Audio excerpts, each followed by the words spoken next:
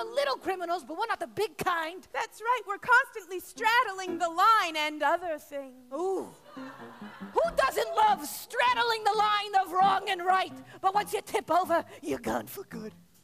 You're right.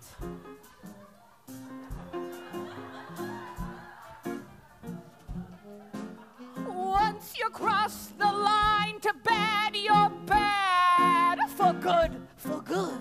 Once you cross good, for good. Once you cross the line for bad, you're bad for good, for good. You can't just kill a kid and expect to go on living like you're normal. Once you take a youth's innocence, it goes to your soul. You're sort of immortal.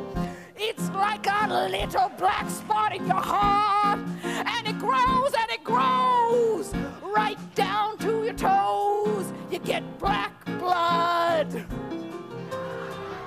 Thanks for bringing up to the cottage, Mom. You are my boy. You are my golden boy, huh? Mom, it's okay. You don't have to call me that. I know I'm adopted. I know you picked me up from an orphanage. I know I'm from Somalia. and I know things were shitty where I was. Thank you for saving me, okay? You don't have to drink. Don't drink. Don't drink. Don't drink. It's not that bad. I'm okay now. No! Really? Baby duck? That's the only champagne you can find? I like it! It's cheap! My dress is from Zellers and my lipstick is just my own blood. I brought you a hope plant.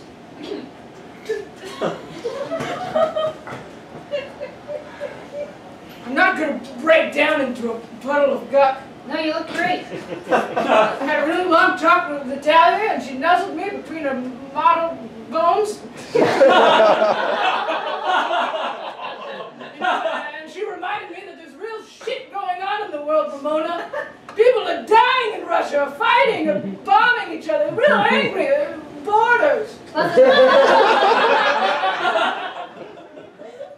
Do you know about the recession? Do you know about complete and utter depression? Have